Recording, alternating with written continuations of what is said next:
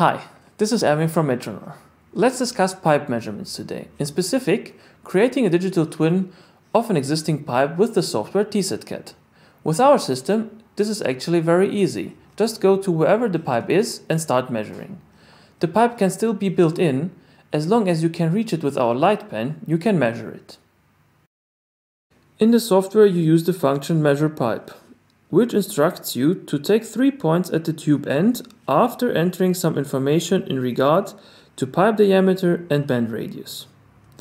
Three points are needed to determine the orientation of the pipe connection plane. TeZetCAD has a background in pipe bending, so we actually only measure the straight segments of the pipe, not the bends itself, since there might be ovalities in those areas. For each pipe segment, you take a minimum of 6 points, the first two defining the direction of the tube. We advise taking the other points in a circular shape, measuring in principle a simple cylinder, calculating the center line of the pipe. We measure as many straight segments as there are on the pipe. When there are no more segments, we measure the second tube end. With the bending radius and pipe diameter, which we entered previously, we get the visualization straight away on our screen and have a digital twin.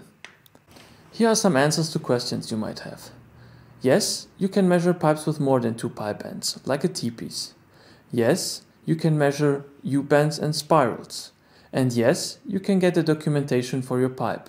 For this, simply look into our other video, Documentation in TeZetCAD.